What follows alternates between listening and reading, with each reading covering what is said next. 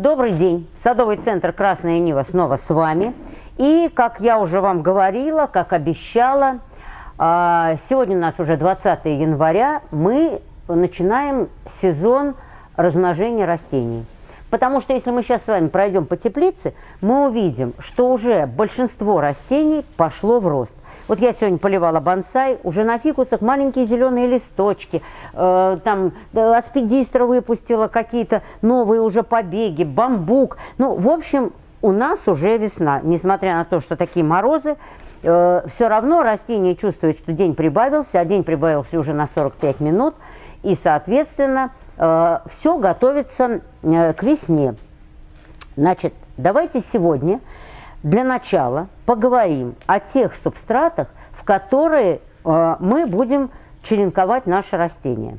Ну, я, честно говоря, думаю, что э, вряд ли дома многие этим занимаются, но тем не менее, может быть, кому-то будет интересно это попробовать, может быть, э, ну, не знаю, какой-то опыт приобретете и в дальнейшем будете что-то размножать. Тем не менее, давайте посмотрим, потому что я все-таки думаю, что нас смотрят же любители растений. Вот. И сейчас мы покажем, каким образом э, растения можно черенковать, в каких субстратах. Ну, субстрат номер один, в котором черенкуем мы, это, конечно, мох сфагнум. Вот посмотрите, как он выглядит. Он растет у нас в питомнике в Тверской области. Э, Конечно, брать его из природы – это не очень хорошо, но тем не менее его заготавливают и э, в каких-то э, таких коммерческих масштабах. Ну, в частности, к нам приходит мох, если я не ошибаюсь, то ли из Новой Зеландии. В общем, это тоже с фагном, но какой-то другой вид. Наш же мох выглядит вот так. Он растет на болотах, и э, в дальнейшем вот он э, нарастает макушками. Вот эта часть отмирает – и она как раз образует тот самый верховой мох, который э, мы с вами тоже сейчас будем использовать, соответственно, э, в нашем размножении. Итак, вот мох. Чем он хорош? А хорош он тем, что вот если сейчас мы вот эту вот кучку мха положим в горшок, то, соответственно, мох начнет расти. И он будет держать очень хороший баланс влаги. То есть, ведь черенкам не нужно, чтобы было очень мокро, иначе они загниют. И в то же время им не нужно э, пересыхать. Поэтому вот этот мох, мы его будем каждый день поливать и опрыскивать, и он, он сам влажный, вот если я его трогаю, то он чувствует, что он влажный, он будет держать тот оптимальный водный баланс, который необходим черенкам. Ну, честно говоря, вот самое лучшее – это вот эти макушки. Вот, например, берем вот такой горшочек – и смотрим, нам нужно, чтобы мох туда почти полностью как бы погрузился. Поэтому нижние вот эти части я оторву, они нам не нужны. Вот таким образом. И вот этот вот красивый букетик мха мы ставим в горшок. Вот что у нас получилось. Значит, мы заранее можем этот мох пролить. Давай вот здесь над полом прольем его вот так. Чтобы он стал еще больше напитался водой, стал более влажным. Вот. Он моментально, вот часть воды вытекла, но горшок сразу становится тяжелее. И вот в этот вот прекрасный субстрат мы можем черенковать все, что угодно. Ну, сейчас я вам принесла показать э, самые такие тривиальные вещи. Это вот, например, э, черенок фикуса бенджамина. Вот посмотрите, молодые листья, вот это то, что образовалось буквально за последнюю неделю. Но нам с вами нужны черенки, конечно, уже одревесневевшие, э, у которых крепкий э, стволик. Вот он, например, видите? Вот. вот мы можем взять вот такой черенок, отрезать его вот здесь у основания. Можно сделать его с пяткой, то есть вот так часть э, ствола, на котором находится, видите, вот здесь такая осталась кусочек основания, это называется с пяточкой. Вот. Можно делать и без пятки, это, в общем, сейчас уже не принципиально. Вот я смотрю, можно делать вот такой длинный черенок. Но если черенок у вас длинный и на нем много листьев, тогда, конечно, его нужно ставить, э, либо накрывать пленкой, либо ставить в какой-то парничок. Потому что я боюсь, что вот такой вот он не выдержит э, черенкования и просто часть листьев завянет. Мы можем что сделать? Мы можем убрать часть листьев вот таким вот образом. Вот что остается. И то, вот молодые листья обязательно убираем. И вот в таком виде, видите, вот раз, два, три, собственно, узла, мы можем его вставлять вот в этот наш заготовленный мох. Вот что получается. Ну, вот я смотрю, вот это, несмотря на то, что он молодой, вот здесь молодые листья, тоже достаточно уже окреп. Возьмем вот такой, например, черенок. Вот, видите? Вот так сделаем. Секатор, конечно, должен быть э, более острый. У меня он уже слегка притупился. Вот что получается.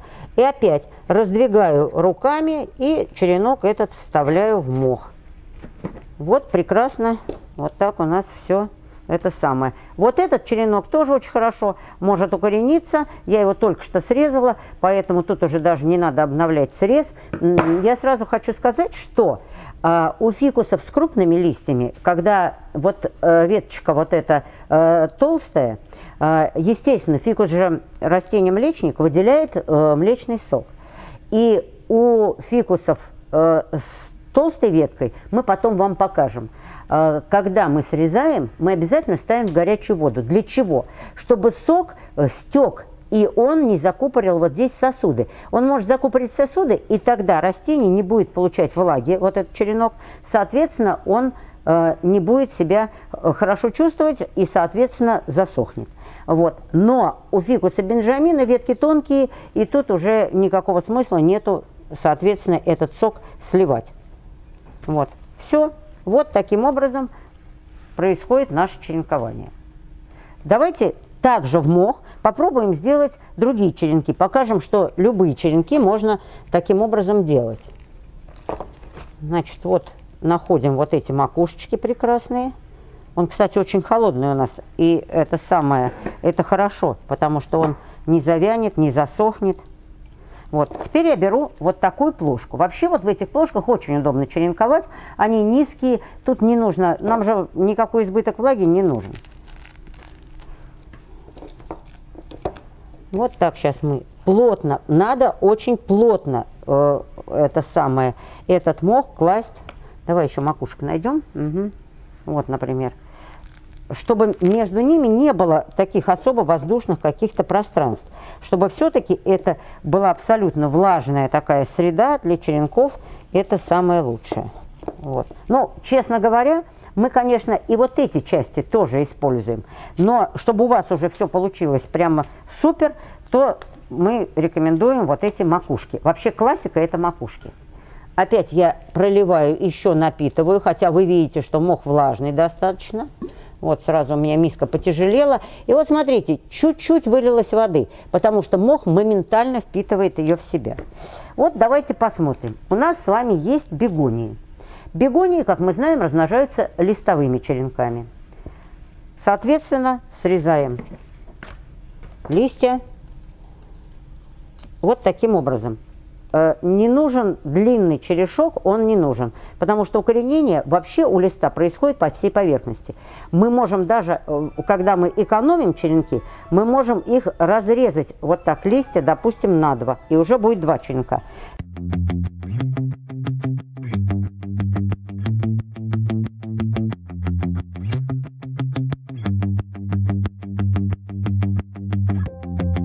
Вот, вот, смотрите, вот таким образом листья у нас э, посажены в этот мох. И давай еще покажем, например, вот э, такую бегонию, да, чтобы было видно тоже. Вот э, листья не надо брать самые молодые, но и вот такие старые, уже пожелтевшие, они тоже не годятся, потому что они вряд ли зачеренкуются. А вот снизу вот такие хорошие плотные листики, вот давай покажи, как это все делается. Вот, например, вот, вот покажи на этом растении, вот молодые листья, вот, о, молодые, да? А вот листья постарше. Мы, конечно, берем листья постарше. Вот. Вообще можно лист, ну, тоже как-нибудь покажем, когда большой лист э, бегонии, видишь, вот так вот разгребаем вот здесь, и вот так вот вставляем этот листочек. Так, чтобы он до половины примерно был погружен в мох. Но потом, конечно, надо все время следить. Вот можно просто поднять эту миску и посмотреть, э, тяжелая она или нет. Она должна быть такой средней тяжести. Ну, собственно говоря, лишняя вода всегда стечет. Та, которую мох в себя не вобрал, она стечет. А мох должен быть насыщен водой. Иначе черенки, безусловно, завянут. Поэтому вот, вот таким вот образом это просто отличный способ черенкования. Потому что, конечно, трудно следить за тем, чтобы субстрат был не переувлажнен и не пересушен. А, вот мох – это идеально для того, чтобы м, держать э, водный баланс. Так, вот смотрим. Значит, можно вообще черенковать можно во что угодно. Можно в землю, можно в воду, можно в песок – но есть какие-то субстраты, которых просто удобно их использовать, потому что, э, как нам кажется, и растения лучше в них себе, чувствуют себя черенки, и, соответственно, э, ну, просто приятнее даже как-то черенковать в, в какие-то уже определенные субстраты. Вот один из них – это вот этот спученный перлит, перлитовый песок. У него один недостаток. Когда он сухой, вы начинаете с ним работать, он очень летит в разные стороны – и лучше работать в маске. Но я вот сейчас так аккуратненько вот так насыплю тоже вот в такую же плошку. Вот. Ну, можно даже чуть поменьше, чтобы потом у нас он не вылезал. И мы его тут же проливаем. Вот он немножко сядет после полива. Как раз будет то, что нам нужно. Вот. И вот только сейчас пошла вода. Видите? Миска тоже потяжелела, перлит все впитал воду. Вот это прекрасный стерильный субстрат для черенкования. Кстати, мох – это тоже стерильный субстрат практически. Вот. Теперь мы вот в этот субстрат можем что зачеренковать? Можем те же фикусы. Тоже очень удобно. Опять я вот смотрю, где у меня тут черенок такой уже хороший, такой одревесневевший. Вот этот лист нам не нужен он будет мешать. Вот из этого можно сделать два черенка, например, вот так его разделив. Вообще, я уже сказала, чем короче черенки, тем успешнее черенкование. Вот даже можно вот эти все листовые пластинки вообще еще уменьшить, если у вас не будет влажной камеры, в которую вы э, вставляете ой, в которой будет черенкование происходить. Ну, а влажная камера – это что такое? Это можно накрыть плошку стеклянной банкой, а можно э, полиэтиленовым пакетом. Но не забывайте, если у вас накрыты черенки, вы должны хотя бы 2-3 раза за день проветривать. Вот. Теперь вот смотрите, очень много у нас э, растений почвопокровных, но если мы их сажаем в подвесной горшок, то они ампельные. Вот, например, вот такая пилея она прекрасно черенкуется э, черенками совершенно разной длины. Можно взять прям длинный какой-то черенок, накрутить его, вот сейчас, сейчас отрежу, прям вот такой какой-то длинный черенок. Вот, например, видите, вот так. И то же самое, Ахиста, давай, вот так мы кладем и заглубляем, соответственно, прижимаем просто, чтобы эта веточка, она была, не выскакивала. Вот получше сейчас надо ее прижать. Ну, давай пока вот этот фикус вытащим, чтобы он нам не мешал. И покажем, как прижимается вот это. При том, что я хочу сказать, что вот такая пиле, ее можно черенковать и просто уже в горшок э, с тем субстратом, в котором она будет расти. Вот сейчас как раз подойдем к тому субстрату, в котором можно и черенковать, и сразу же растения выращивать. Последнее время мы его очень часто используем. Сейчас мы вам покажем, что это за такой волшебный состав земли.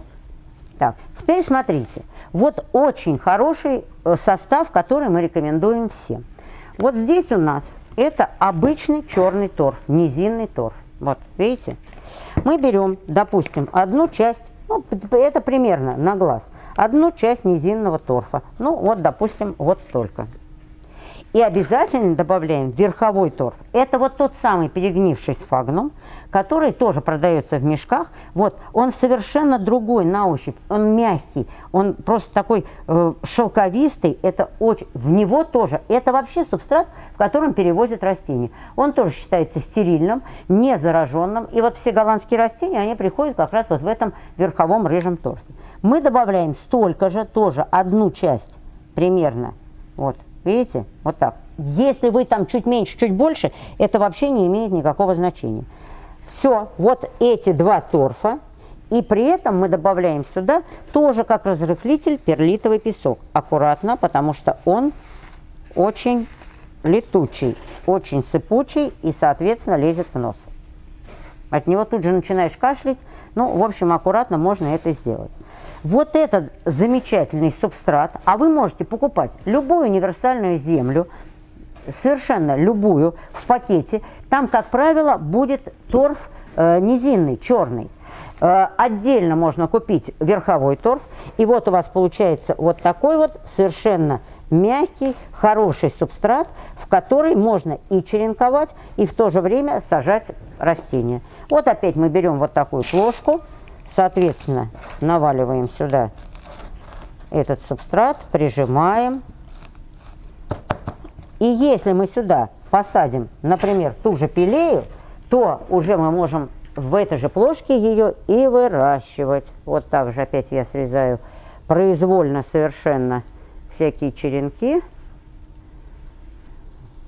Причем сразу, если вы хотите, чтобы растение сразу было густое, то можно вот буквально вот такое количество, можно сделать вот так, положить, потом присыпать. Давай вот так я отберу немножечко. Вот как мы обычно делаем.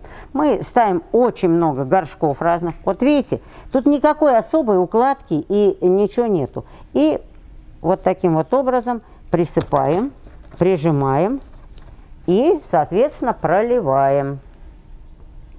Вот что у нас получилось. Вот. Но что касается вот этой пилеи, тут, конечно, вариант совершенно беспроигрышный. Через три дня она уже даст корни, и уже начнется ее рост. И уже буквально, э, я думаю, через неделю будет шапочка да. хорошая, потому что э, уже весна.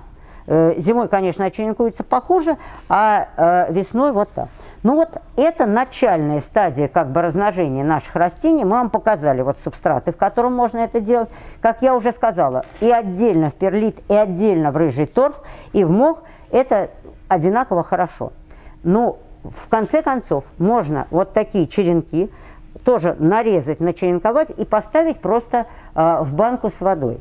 Значит, я недавно видела по, по-моему, там каналу Бобер, что ли, тоже показывали черенкование. Вот мне нравится, когда начинает какой-то мудреж, что типа корни корни, они же в земле, они не любят, чтобы был свет. И поэтому надо обязательно ставить не в банку стеклянную, а надо ставить там в какой-то сосуд непрозрачный. Слушайте, это ерунда. Вы можете поставить в любой сосуд, и если все хорошо и время подходящее, а сейчас уже время будет подходящее, то ваше растение прекрасно себе укоренится. В следующий раз мы покажем, как это сделать в банке, просто с водой. Особенно хорошо в ней черенковать все ароидные растения. Они сочные, они они чудесно дают корни. Мы даже можем с тобой заранее поставить э, на, воду. сейчас и уже в следующей передаче показать, как растут корни. Замечательно э, в любом совершенно сосуде. А в стеклянном-то еще и лучше. Вот. Ну, вот на сегодня наш сюжет закончен. Дальше будем разно, показывать размножение буквально всего того, что у нас и есть. У нас скоро посев семян, будем показывать и как сеять овощные культуры, как мы сеем, и, соответственно, и наш декоративный. Всего вам хорошего. Смотрите нас, не пропускайте наши сюжеты и будете все знать точно так же, как и мы. До свидания.